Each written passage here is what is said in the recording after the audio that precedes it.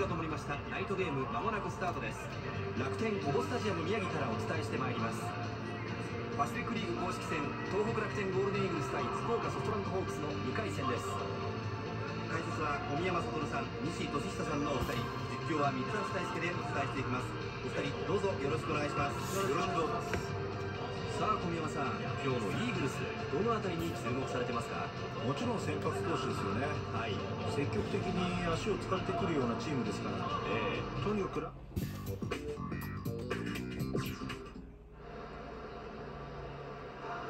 まずはイーグルスの先発安楽がコボスタ宮城のマウンドに上がります。さあホークス打線相手にどんなピッチングを見せてくれるんでしょうか？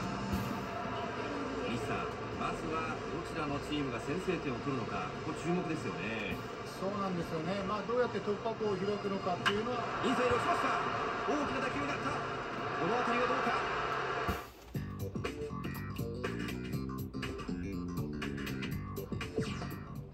ちゃめちゃ打たれてるな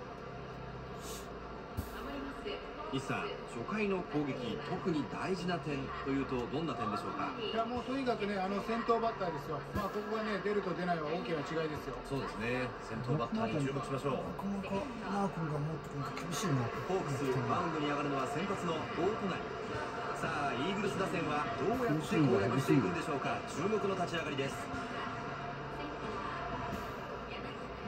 バッターは松井昨日はホームランを含む4安打を記録しています。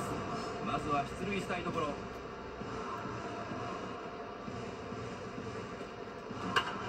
ァウルです。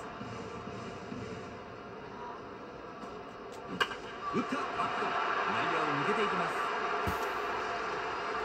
先頭バッター出ました楽天イーグルス。ノーアウトランナー一塁です。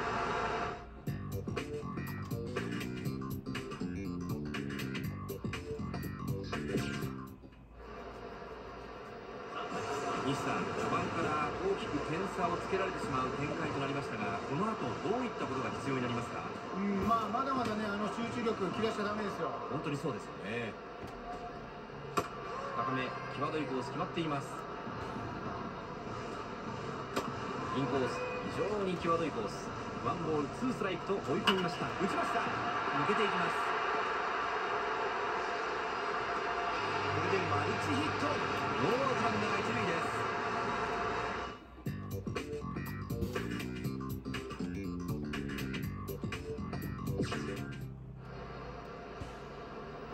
打順は1番に入ります。バッター松井今日はここまでマルチ安打を記録しています。ヒットでランナーを一塁に置いています。まず何を投げてくるかインサイド外れます。打ちました。これはどうだ？ヒットになった。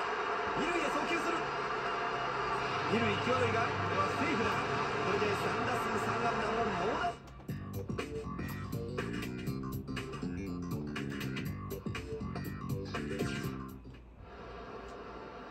打順はトップに帰って松井。今日はここまで猛打賞を記録しています。ヒットでランナーを一塁に置いています。痛烈。入れました。ファウルボールです。打ちました。取った。セカンド送球。セカンドフォースアウト。スリーアウトになりました。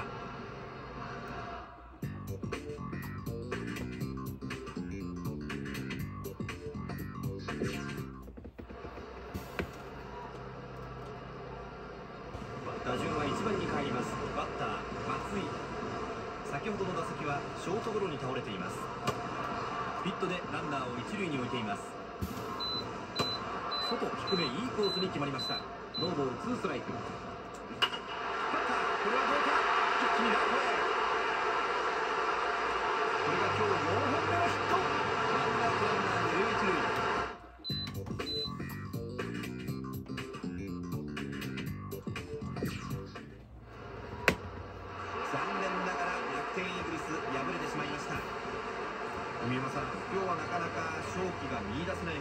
敗戦となってしまいました。